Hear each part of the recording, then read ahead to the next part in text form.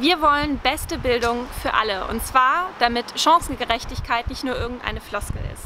Deshalb brauchen wir auf Bundesebene die Abschaffung des Kooperationsverbotes. Auch der Bund muss mit dazu beitragen können, Förderung, das heißt zum Beispiel Gelder in, äh, in die Schulbildung, in die Bildung zu stecken, damit unsere Kinder auf jeden Fall die besten Voraussetzungen haben, aus ihrem Leben das Allerbeste zu machen.